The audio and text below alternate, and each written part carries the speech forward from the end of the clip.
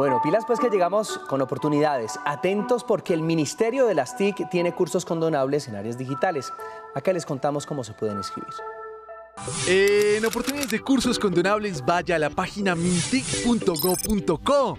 Desliza hasta abajo en la sección convocatorias y de clic en Ministerio TIC abre 7000 cupos. Lea con atención la descripción y requisitos como ser colombiano mayor de edad y tener título de bachiller, entre otros. Atentos, son más de 1545 cursos en plataformas digitales. Tenga presente que para acceder a la condonación del 100% del curso debe finalizar con éxito el programa. De clic en el enlace de inscripción y siga el paso a paso. Y mucho ojo, tiene plazo de aplicar hasta el 31 de marzo de 2023.